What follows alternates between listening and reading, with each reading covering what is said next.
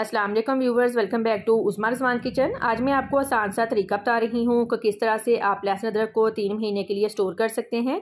आगे ईद आ रही है, अगर आप लहसुन अदरक को स्टोर कर लेंगे तो टाइम की भी बचत होगी और आपका काम भी आसान हो जाएगा। वीडियो पसंद है तो लाइक लाजमी कीजिएगा और चैनल को भी सब्सक्राइब कर दें। हसब ज़रूरत लहसुन अदरक को छील लेंगे।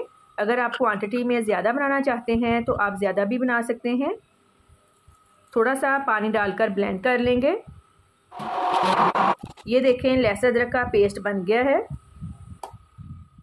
अब आइस क्यूब ट्रे में डालकर फ्रीज़ कर लें।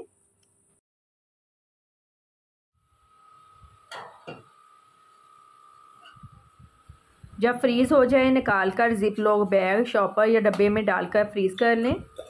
टाइम की भी बचत होगी और इसके टेस्ट में भी कोई फ़र्क नहीं आएगा।